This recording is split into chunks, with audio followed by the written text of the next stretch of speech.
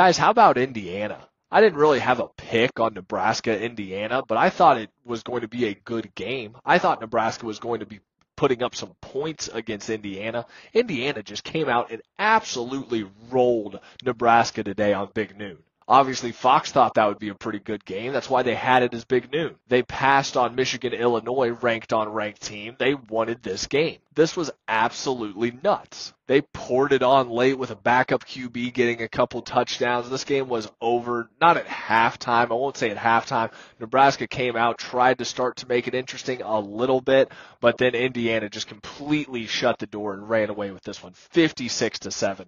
This leads to a very fun conversation in the Big Ten. You got Indiana, 7 0 overall, undefeated Big Ten play, obviously. Oregon, Penn State. You got those three teams. Then you have Ohio State, who lost to Oregon, but obviously they're still in the driver's seat of their own destiny. Then you have Illinois, six and one. The only loss is at Penn State, twenty-one to seven. Illinois plays Oregon next weekend. That's going to be a fun game, but let's just, for the sake of argument, let's keep them in this thing. Ohio State one loss. Illinois one loss. Undefeated Oregon, undefeated Penn State, undefeated Indiana. Ohio State plays Penn State. Somebody's going to get a loss. Let's say Ohio State wins that one. Indiana's rest of season. Washington, Michigan State, Michigan, Ohio State, Purdue. What if Indiana is 11 and 1?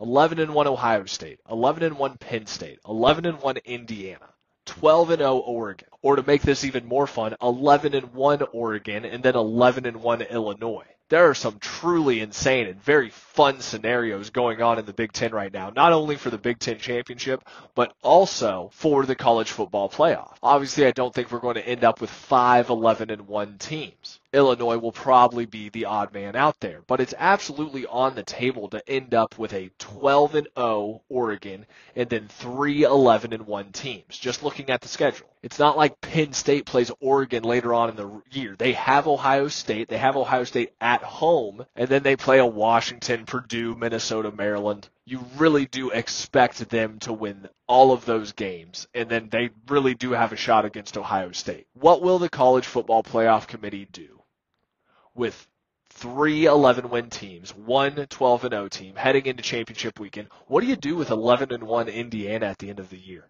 How do they stack up with 10 and 2 Alabama? Alabama would have the better win, but they have one more loss to Vanderbilt, by the way.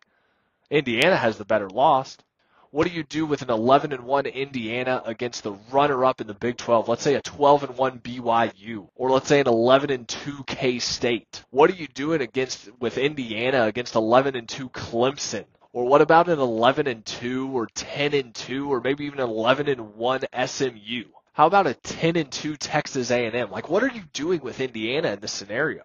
They haven't really beaten anybody, but they played their schedule and they played them well, and maybe they only lose by seven to 10 points against Ohio State, and that's a real game. The Big Ten coming up here at the end of the season. This is going to be a lot of fun to discuss. Indiana kept their nose clean. They very well could be 9 and 0 going up against Michigan, and Michigan does not look good at all right now. They don't have a quarterback. I don't want to hear any excuses. This has been horrible for the Michigan Wolverine. Indiana is one of these very, very fun chess pieces that makes the 12 team playoff a great idea. If you watch me, you know I'm not a huge fan of the 12 team playoff. But this is the type of scenario that makes the 12 team playoff just exceedingly fun for all of us die-hard college football fans. In Wisconsin, yes, I know you're not mathematically out of it or anything. You're 3 and 1 in Big 10 play. I get it. I just don't think you're going to be there for very long. That's why we didn't include you in that conversation.